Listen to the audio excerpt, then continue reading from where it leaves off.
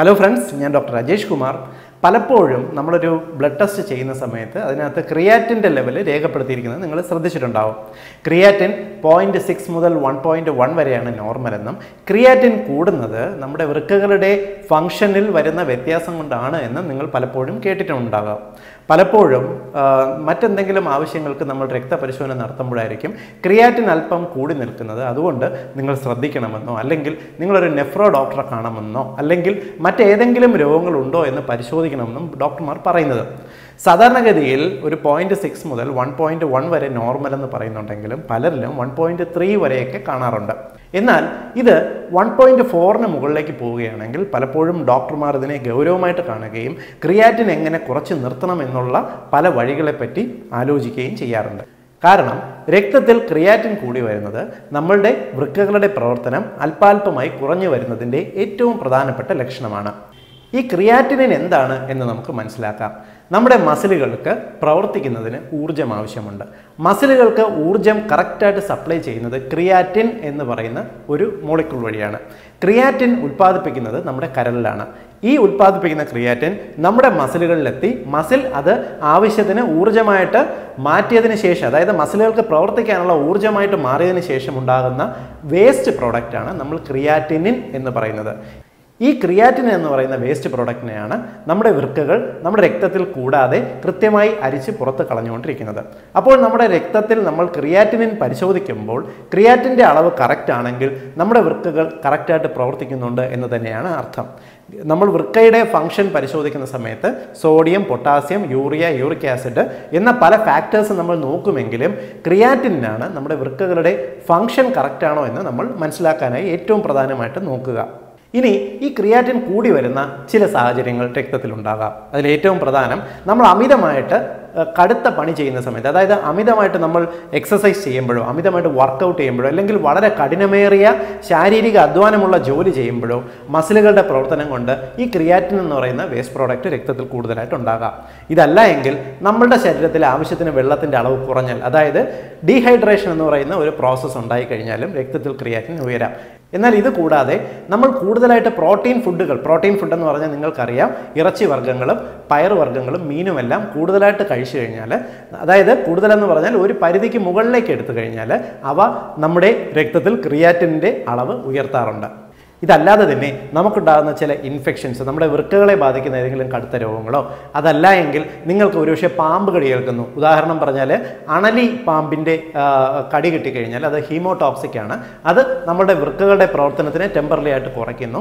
ഈ ഒരു സാഹചര്യത്തിലും ക്രിയാറ്റിൻ ഉയർന്നു വന്ന് വരാം. ഇതുകൂടാതെ നമ്മൾ എടുക്കുന്ന മരുന്നുകൾ നിങ്ങൾ ഒരുപക്ഷെ കേട്ടിട്ടുണ്ടാവും അമിതമായിട്ട് പെയിൻ കില്ലേഴ്സ് എടുക്കുന്ന സ്വഭാവമുള്ളവരിലോ കൂടുതലായിട്ട് കെമിക്കൽ അടങ്ങിയിട്ടുള്ള ഭക്ഷണങ്ങൾ കഴിക്കുന്നവരിലോ എല്ലാം തന്നെ വൃക്കകളുടെ പ്രവർത്തനത്തിൽ വ്യത്യാസം വരാൻ ചാൻസ് ഉണ്ട്.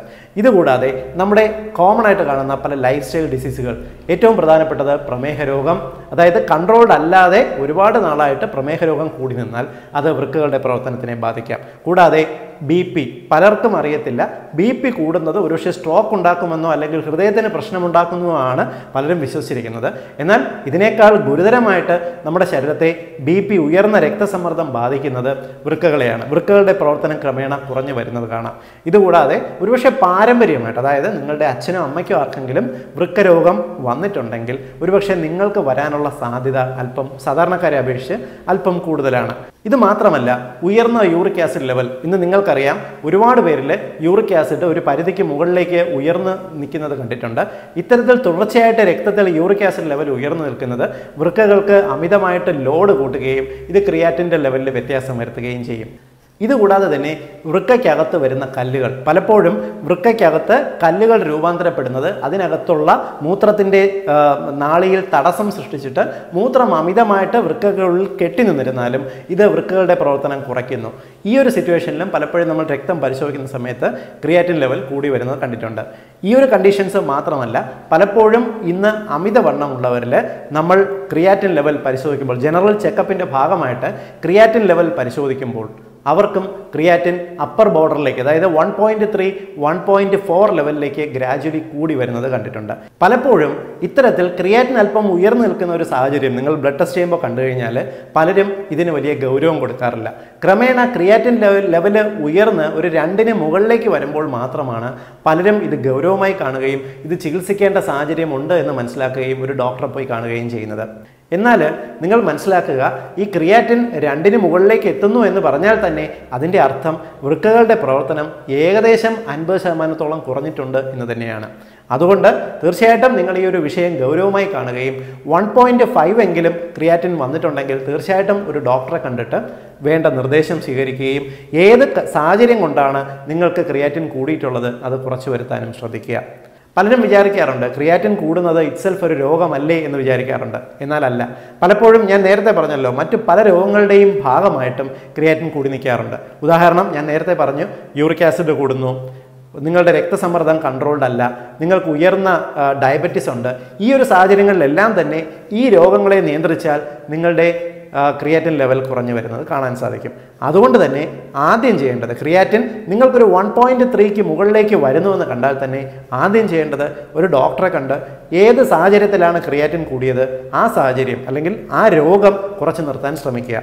ഇനി രണ്ടാമത്തെ കാര്യം ക്രിയാറ്റിൻ നിങ്ങൾക്ക് അല്പം ഉയർന്നു വരികയാണെങ്കിൽ ഇത് ആഹാരത്തിൽ കൂടി എങ്ങനെ നമുക്ക് കൺട്രോൾ ചെയ്ത് നിർത്താം എന്ന് നോക്കാം. ഞാൻ ആദ്യം പറഞ്ഞല്ലോ നമ്മുടെ ശരീരത്തിന്റെ മസിലിന്റെ കടുത്ത എക്സസൈസിന്റെ ഒരു ബാക്കി പത്രമാണ്. അതായത് അതിന്റെ ഒരു വേസ്റ്റ് പ്രോഡക്റ്റാണ് ഉയർന്ന ക്രിയാറ്റിൻ ലെവൽ എന്നുള്ളത്. അതുകൊണ്ട് തന്നെ നിങ്ങൾക്ക് ക്രിയേറ്റീവ് ലെവൽ ഉയർന്നു വരുന്നു എന്നുണ്ടെങ്കിൽ നിങ്ങൾ ആദ്യം കഠിനമായിട്ടുള്ള വ്യായാമം ഒഴിവാക്കുക എന്നുള്ളതാണ് ഏറ്റവും പ്രധാന കാര്യം. അതായത് വ്യായാമം ചെയ്യേണ്ട എന്നല്ല നിങ്ങളുടെ ശരീരത്തിന് വളരെ കടുത്ത സ്ട്രെയിനുള്ള ജോലി അതായത് നിങ്ങൾ ശക്തമായ ഇപ്പോൾ എക്സസൈസ് ചെയ്യുകയാണെങ്കിൽ കടുത്ത വർക്കൗട്ടോ മറ്റോ എല്ലാം മാറ്റിയതിന് ശേഷം ലളിതമായ നടത്തം അല്ലെങ്കിൽ സ്വിമ്മിംഗ് പോലുള്ള ലൈറ്റ് എക്സസൈസിലേക്ക് ശരീരത്തിനെ കൊണ്ടുവരാൻ ശ്രമിക്കുക. ശരീരത്തിന്റെ എല്ലാ മസിലുകളെയും ഇളക്കുന്ന കടുത്ത വ്യായാമങ്ങൾ ഒഴിവാക്കുക. എന്നാൽ മനസ്സിലാക്കുക ഒരിക്കലും വ്യായാമം ചെയ്യാതിരിക്കുന്നത് നിങ്ങളുടെ ശരീരത്തിന് ഗുണകരമാവത്തില്ല. അത് നിങ്ങളുടെ പല ലൈഫ് സ്റ്റൈൽ രോഗങ്ങളെയും ബാധിക്കും. അതുകൊണ്ട് നിങ്ങൾക്ക് ഒരുപക്ഷെ ക്രിയാറ്റിൻ എലിവേഷൻ ടെൻഡൻസി ഉണ്ടെങ്കിൽ ദിവസം നാൽപ്പത് മിനിറ്റ് നിങ്ങൾക്ക് നടക്കാം. ജോഗിംഗ് ഒഴിവാക്കാൻ ശ്രമിക്കുക. വെയിറ്റ് ട്രെയിനിങ് പോലുള്ള കടുത്ത എക്സസൈസുകൾ ഒഴിവാക്കാൻ ശ്രമിക്കുക. ഇനി രണ്ടാമത്തെ കാര്യം ക്രിയാറ്റിൻ ലെവൽ നിങ്ങൾക്ക് ഉയർന്നിട്ടുണ്ടെങ്കിൽ നിങ്ങൾ അതനുസരിച്ച് നിങ്ങളുടെ പ്രോട്ടീൻ ഇൻടേക്ക് കുറയ്ക്കണം. പലപ്പോഴും അമിതവണ്ണമുള്ളവരിലും ക്രിയാറ്റിൻ ലെവൽ അല്പം ഉയർന്നിട്ടുള്ളവരിലും ഇറച്ചി വർഗങ്ങൾ പ്രത്യേകിച്ച് റെഡ് മീറ്റ് കൂടുതൽ കഴിക്കുന്നത് നല്ലതല്ല. റെഡ് മീറ്റ് എന്ന് പറഞ്ഞാൽ താറാവിറച്ചി അതേപോലെ പോത്ത് കാള അതേപോലെ പന്നിയിറച്ചി മട്ടൺ ഇവ കൂടുതലായിട്ട് എടുക്കുന്നത്. കാരണം ഇവയുടെ മസിലുകളിൽ ക്രിയാറ്റിന്റെ അളവ് അല്പം കൂടുതലാണ്. ഇവ നിങ്ങൾ കൂടുതൽ കൺസ്യൂം ചെയ്താൽ നിങ്ങൾക്ക് രക്തത്തിൽ ക്രിയാറ്റിൻ ലെവൽ ഉയരാനും ഒരുപക്ഷെ അത് വൃക്കകൾക്ക് കൂടുതൽ സ്ട്രെയിൻ ഉണ്ടാക്കാനുമുള്ള സാധ്യതയുണ്ട്. അതുകൊണ്ട് നിങ്ങൾ പ്രോട്ടീൻ പ്രത്യേകിച്ച് റെഡ് മീറ്റിന്റെ അളവ് നല്ല രീതിക്ക് കുറയ്ക്കുകയോ അല്ലെങ്കിൽ അവ ഒഴിവാക്കുകയോ ചെയ്യണം. ഇത്തരത്തിലുള്ള ആനിമൽ പ്രോട്ടീൻസ് ഒഴിവാക്കിയിട്ട് വളരെ സിമ്പിൾ ആയിട്ടുള്ള പ്രോട്ടീൻസ് വെജിറ്റബിൾ പ്രോട്ടീൻസ് നിങ്ങൾക്ക് ചെറുപയറോ കടലയോ പരിപ്പോ അത്യാവശ്യം മുട്ടയുടെ വെള്ളയോ കഴിക്കുന്നത് ശരീരത്തിന് ഒരുപക്ഷെ ക്രിയാറ്റിന് വലിയ വ്യത്യാസം വരുത്താനുള്ള സാധ്യതയില്ല. ആനിമൽ പ്രോട്ടീൻസിന്റെ കൂട്ടത്തിൽ ഒഴിവാക്കേണ്ട ഒന്ന് തന്നെയാണ് പാലും പാലുൽപ്പന്നങ്ങളും. കാരണം പാലിനകത്തുള്ള പ്രോട്ടീനിനും നമ്മുടെ ക്രിയാറ്റിൻ ലെവലിൽ വ്യത്യാസം വരുത്താനുള്ള സാധ്യതയുണ്ട്. അവ ഒഴിവാക്കിയിട്ട് നിങ്ങൾക്ക് മോര് കഴിക്കാം. മോരോ മോരും വെള്ളമോ കഴിക്കുന്നത് കുറച്ച് ഹെൽത്തി തന്നെയാണ്. അതുപോലെ തന്നെ പ്രധാനമാണ് പഴങ്ങളുടെയും പച്ചക്കറികളുടെയും ഉപയോഗം രണ്ട് തരത്തിൽ ഇവ നമുക്ക് ഗുണകരമാവും. കാരണം ഇവ ഇവയിൽ അടങ്ങിയിട്ടുള്ള നാരുകൾ ഫൈബറുകൾ നമ്മുടെ ശരീരത്തിന് ക്രിയാറ്റിൻ ലെവൽ മെയിന്റെയിൻ ചെയ്യുന്നതിന് ഒരുപാട് സഹായിക്കുന്നുണ്ട്. പലതരത്തിൽ ഇത് ഗുണം ചെയ്യുന്നുണ്ട്. ഇവ നമ്മുടെ പ്രമേഹ രോഗം കുറയ്ക്കുന്നു. വയറിന്റെ ഡൈജഷൻ ഇമ്പ്രൂവ് ചെയ്യാൻ സഹായിക്കുന്നു. അതേപോലെ തന്നെ ബി പി കൺട്രോൾ ചെയ്യാൻ സഹായിക്കുന്നു. അതേപോലെ ക്രിയാറ്റിനെ നിയന്ത്രിക്കാൻ സഹായിക്കുന്നുണ്ട്. പഴവർഗങ്ങളും പച്ചക്കറികളും തീർച്ചയായിട്ടും നിങ്ങളുടെ ഭക്ഷണത്തിൽ ഉൾപ്പെടുത്തണം. എന്നാൽ വൃക്ക രോഗമുള്ളവരാണെങ്കിൽ നിങ്ങളുടെ ശരീരത്തിൽ സോഡിയം പൊട്ടാസ്യം ഫോസ്ഫറസ് എന്നിവ ഒരു പരിധിക്ക് മുകളിൽ ഉയരാതെ നോക്കേണ്ടതും ആവശ്യമാണ്. നിങ്ങൾക്ക് വൃക്കരോഗമുണ്ടെങ്കിൽ ക്രിയാറ്റിൻ ഒരു പരിധിക്ക് മുകളിൽ കൂടുതലാണ്. നിങ്ങളൊരു നെഫ്രോളജി ഡോക്ടറുടെ ട്രീറ്റ്മെന്റ് ആണെങ്കിൽ നിങ്ങൾ ശ്രദ്ധിക്കേണ്ടത് പഴങ്ങളും പച്ചക്കറികളും കഴിക്കാം. പക്ഷേ അവയിൽ ശ്രദ്ധിക്കേണ്ട ചില കാര്യങ്ങളുണ്ട്. പച്ചക്കറികൾ എപ്പോഴും നിങ്ങൾ പാകം ചെയ്ത് അതായത് ധാരാളം വെള്ളമൊഴിച്ച് പാകം ചെയ്തതിന് ശേഷം അവയുടെ വെള്ളം ഊറ്റിക്കളയുക അതിനുശേഷം കഴിക്കുക. നമ്മളിങ്ങനെ ഊറ്റിക്കളയുന്ന സമയത്ത് ഇതിനകത്തുള്ള പൊട്ടാസ്യവും ഫോസ്ഫറസും ഒരു പരിധിയിൽ കൂടുതൽ നഷ്ടപ്പെടുന്നു. ഇത് നമ്മുടെ വൃക്കകളുടെ ലോഡ് കുറയ്ക്കാൻ സഹായിക്കുന്നു. ഇനി ശ്രദ്ധിക്കേണ്ട മറ്റൊരു കാര്യം നിങ്ങൾ വെള്ളം ധാരാളം കുടിക്കുക എന്നുള്ളതാണ് ഞാൻ നേരത്തെ പറഞ്ഞല്ലോ നിങ്ങളുടെ ശരീരത്തിലുള്ള ജലാംശം കുറയുന്നത് നിങ്ങളുടെ ക്രിയാറ്റിൻ ഉയരുന്നതിന് കാരണമാകും. എന്നാൽ നിങ്ങൾക്ക് വൃക്കരോഗമുണ്ടെങ്കിൽ വൃക്കകളുടെ പ്രവർത്തനത്തിൽ താളം തെറ്റലുണ്ടെങ്കിൽ തീർച്ചയായിട്ടും നിങ്ങളൊരു ഡോക്ടറെ കണ്ടതിന് ശേഷം മാത്രമേ നിങ്ങൾ കഴിക്കേണ്ട വെള്ളത്തിന്റെ അളവ് തീരുമാനിക്കാവുള്ളൂ. കാരണം നിങ്ങളുടെ ശരീരത്തിൽ നിങ്ങളുടെ വൃക്കകൾക്ക് നിങ്ങളുടെ ശരീരത്തിലെ ജലാംശം അരിച്ച് മെയിന്റെയിൻ ചെയ്യാനുള്ള കഴിവില്ലെങ്കിൽ കൂടുതൽ വെള്ളം നിങ്ങൾ കുടിക്കുന്നത് വൃക്കകൾക്ക് ടെൻഷനും അതേപോലെ ഹൃദയത്തിന്റെ പമ്പിംഗ് ലോഡ് കൂട്ടാനുമുള്ള സാധ്യതയുണ്ട്. അതുകൊണ്ട് നിങ്ങളുടെ വൃക്കകളുടെ പ്രവർത്തനം ക്രമമാണെങ്കിൽ നിങ്ങൾ ധാരാളം വെള്ളം കുടിക്കുന്നത് നിങ്ങളുടെ ക്രിയാറ്റിൻ കറക്റ്റ് ചെയ്യാൻ സഹായിക്കും. ഇൻ കേസ് നിങ്ങളുടെ വൃക്കകളുടെ പ്രവർത്തനത്തിൽ താളപ്പിഴകുണ്ടെങ്കിൽ നിങ്ങൾ നെഫ്രോളജി നിങ്ങളുടെ ഡോക്ടറുടെ തീരുമാനത്തിൽ മാത്രമേ വെള്ളത്തിന്റെ അളവ് തീരുമാനിക്കുള്ളൂ. കാരണം അദ്ദേഹം ഒരുപക്ഷെ ഒരു ദിവസം എഴുന്നൂറ്റൻപത് മുതൽ വൺ പോയിന്റ് ടു ലിറ്റർ വെള്ളം മാത്രം കുടിച്ചാൽ മതി എന്ന് നിഷ്കർഷിക്കുകയാണെങ്കിൽ അത്രയും മാത്രമായിട്ട് നിർത്തുക. നിങ്ങളുടെ വൃക്കകളുടെ ഫംഗ്ഷൻ കുഴപ്പമില്ല. ക്രിയാറ്റിൻ മാത്രമാണ് അല്പം എലിവേറ്റഡ് എങ്കിൽ നിങ്ങൾക്ക് ഒരു ദിവസം രണ്ടര ലിറ്റർ വെള്ളം വരെ കുടിക്കാവുന്നതാണ്. ആരോഗ്യ പ്രശ്നങ്ങൾ ഉണ്ടാക്കുകയില്ല. അതുപോലെ ക്രിയാറ്റിന് വ്യത്യാസമുള്ളവർ ശ്രദ്ധിക്കേണ്ട മറ്റൊരു പ്രധാന കാര്യം നിങ്ങൾ മരുന്നുകൾ അമിതമായിട്ട് ഉപയോഗിക്കാൻ പാടില്ല എന്നുള്ളതാണ്. നിങ്ങൾക്കറിയാം നമ്മൾ മലയാളികൾക്ക് പൊതുവേ ഉള്ളൊരു സ്വഭാവമാണ് എന്ത് അസുഖം വന്നാലും ഓടി അടുത്തുള്ള മെഡിക്കൽ സ്റ്റോറിൽ പോയിട്ട് ഗുളികകൾ വാങ്ങി കഴിക്കുക എന്നുള്ളത്. എന്നാൽ മനസ്സിലാക്കുക ഇത്തരത്തിൽ പെയിൻ കില്ലറുകളും പല രോഗങ്ങളുടെയും മരുന്നുകളും അനാവശ്യമായി ഉള്ളിൽ ചെല്ലുന്നത് നമ്മുടെ വൃക്കകളുടെ ലോഡ് കൂട്ടും. വൃക്കകൾക്ക് സ്ട്രെയിൻ ഒരുപാട് ഉണ്ടാക്കും. ക്രിയാറ്റിൻ നിങ്ങൾക്ക് വേരിയേഷൻ ഉണ്ടെങ്കിൽ നിങ്ങൾ ആവശ്യമില്ലാതെ പെയിൻ കില്ലേഴ്സ് കഴിക്കാൻ പാടില്ല. പനിക്കോ മറ്റു രോഗങ്ങൾക്കോ എല്ലാം തന്നെ ഒരു ഡോക്ടറുടെ നിർദ്ദേശത്തിൽ മാത്രമേ മരുന്നെടുക്കാൻ പാടുള്ളൂ. കാരണം പല മരുന്നുകൾക്കും കിഡ്നിക്ക് സ്ട്രെയിനും ക്രിയാറ്റിന് വ്യത്യാസം വരുത്താനും കഴിവുള്ളവയാണ്. ഈ മരുന്നുകൾ പോലെ തന്നെ പ്രധാനപ്പെട്ടതാണ് കൂടുതൽ കെമിക്കൽ അടങ്ങിയിട്ടുള്ള ഭക്ഷണങ്ങൾ. ഇന്ന് നിങ്ങൾക്കറിയാം പ്രോസസ്ഡ് ആയിട്ടുള്ള ഭക്ഷണങ്ങൾ നമ്മുടെ ബേക്കറിയിൽ കിട്ടുന്ന ഭക്ഷണങ്ങളെല്ലാം തന്നെ പലതരത്തിലുള്ള കളറുകൾ ടേസ്റ്റ് മേക്കേഴ്സ് ആഡഡ് പ്രിസർവേറ്റീവ്സ് എന്നിവ ചേർത്തിട്ടുള്ളതാണ്.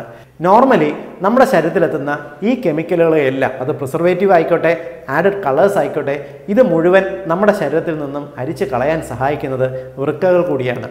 ഒരുപക്ഷെ നിങ്ങളുടെ വൃക്കകളുടെ പ്രവർത്തനത്തിൽ ചെറിയ വ്യത്യാസമുണ്ടെങ്കിൽ ക്രിയാറ്റിൻ എലിവേറ്റഡ് ആണെങ്കിൽ നിങ്ങൾ കഴിക്കുന്ന ഈ കെമിക്കലുകൾ നിങ്ങളുടെ ശരീരത്തിൽ നിന്നും അരിച്ചു കളയാൻ വൃക്കകൾക്ക് ബുദ്ധിമുട്ട് വരികയും ക്രിയാറ്റിൻ വീണ്ടും കൂടുകയും ചെയ്യും. അതുകൊണ്ട് തീർച്ചയായിട്ടും നിങ്ങൾ ഈ ക്രിയാറ്റിൻ വ്യത്യാസം ടെൻഡൻസി ഉണ്ടെങ്കിൽ നിങ്ങൾ ഇത്തരത്തിലുള്ള പ്രോസസ്ഡ് ആയിട്ടുള്ള ഫുഡുകൾ പ്രോസസ്ഡ് ഫുഡുകളുടെ പ്രത്യേകത അതായത് ബേക്കൺ ബർഗേഴ്സ് പോലുള്ള പിസ പോലുള്ള ഫുഡുകളുടെ പ്രത്യേകത ഇവയ്ക്കകത്ത് അമിതമായിട്ട് ഉപ്പ് ചേർത്തിട്ടുണ്ട്. സോഡിയത്തിന്റെ അളവ് വളരെ കൂടുതലാണ്.